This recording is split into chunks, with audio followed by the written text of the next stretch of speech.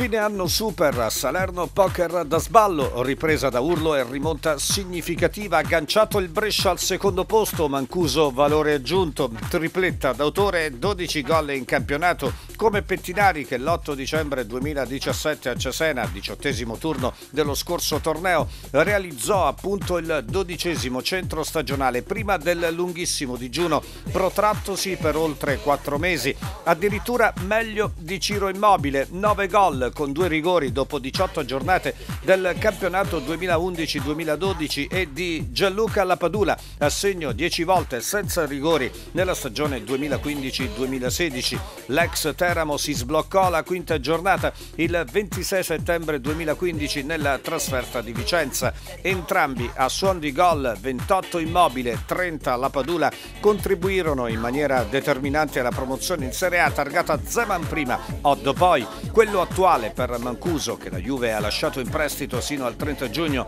può essere davvero il campionato della definitiva consacrazione. Segna in tutti i modi, di testa, di piede, destro o sinistro non fa davvero differenza. Crescita senza dubbio esponenziale, da prima punta il meglio, del resto si era presentato così col Foggia, prima partita dello scorso campionato, un gol bellissimo, ironia della sorte, proprio da centravanti.